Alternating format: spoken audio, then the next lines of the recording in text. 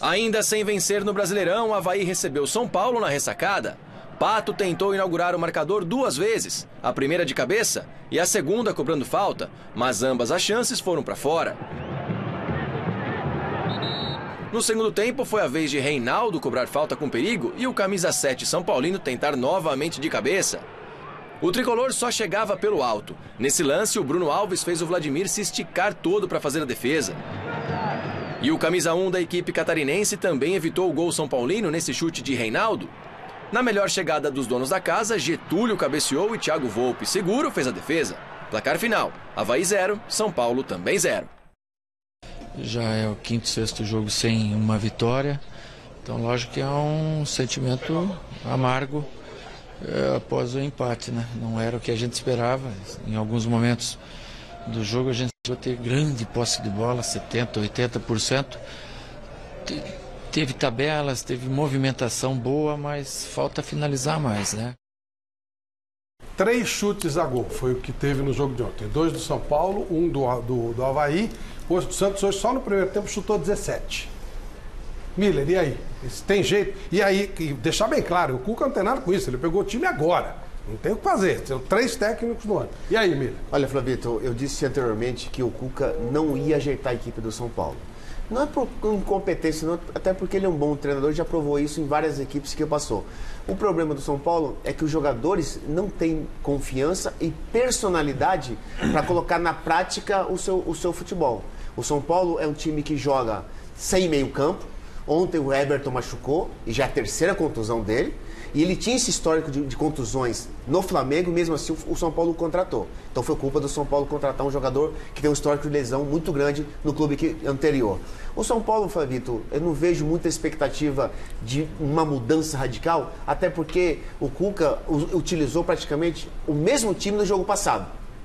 E os jogadores, com o mesmo discurso ouvindo do treinador, eles não conseguem é, transmitir isso dentro de campo, aquilo que o treinador quer que eles façam. Você pode ver que o São Paulo ontem jogou mal contra um time que tá, vai lutar para não cair, que é o Havaí, que é um time fraco, um time pequeno.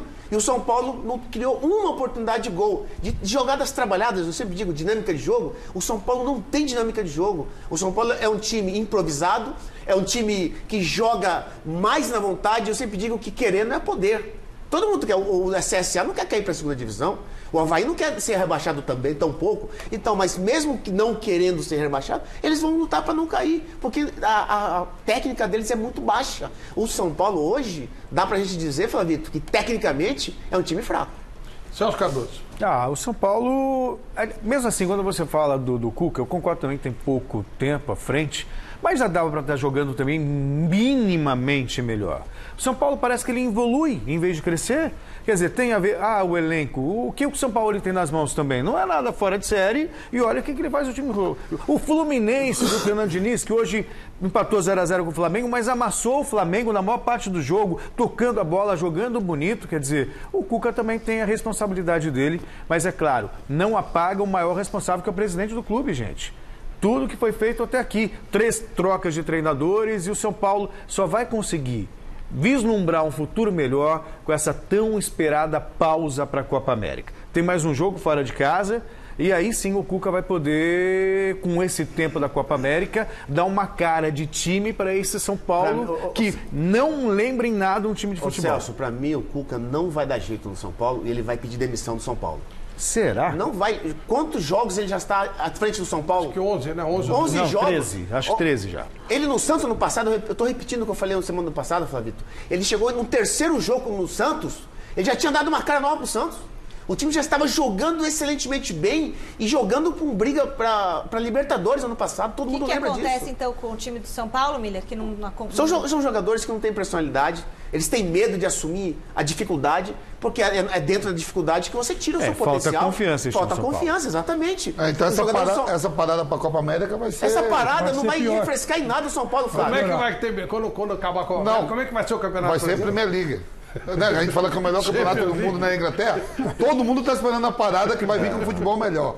Então eu vou esperar, vou ver City, vou ver Liverpool, o Campeonato Brasileiro vai virar isso. Todo mundo falou, vamos parar para parar. Deixa essa parada vocês vão ver. Mas é complicado, viu? Porque o torcedor do São Paulo que acostumou a ver o Miller, o Careca, o Raí, o Leonardo, aí é falta de qualidade, pô. Também. A gente, a gente fica aqui procurando, é o treinador, é isso, é falta de qualidade. Eu, eu não consigo, não é por nada não.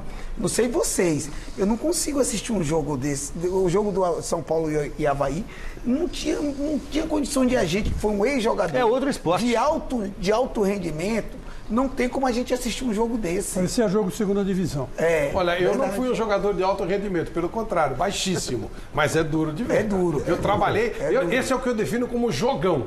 Joseval sabe, jogão, ou seja, um jogo enorme, não acaba. Aquele jogo, você tá vendo que o jogo tá cansativo, quanto tempo tem? 15 minutos, você fala, meu Deus do Eu, céu. eu, Flávio, eu, eu Flávio, dormi, não acordei, o jogador. jogo ainda estava Você não foi jogador, mas você foi ou, ou é um brilhante jornalista e acompanhou os melhores momentos do futebol brasileiro dos É, últimos 10 verdade. anos. Quer dizer, não é o fato de você não jogar, mas a gente acompanha e acompanha a fundo. A gente viu o Miller nascer, viu o Vampeta nascer, viu o Edilson nascer. É, Narrei jogo no Vampeta na Copa São Paulo. o tempo passa, velho mas, não, é- tá? mas era o, Tá o, o José Val Peixoto, então nem se fale. Nem né? se fala. É, ela narrou o, Não, nos viu, viu, últimos viu 50, Pelé, 60 viu, anos, viu dois- Pelé, duas Garrincha, academias do Palmeiras. é, Zizinho, Didi, quer dizer... Vocês não era- sabem a era- felicidade que eu estou vivendo. É, Eu narrei jogo des- desses jovens aqui que estão aqui com a gente.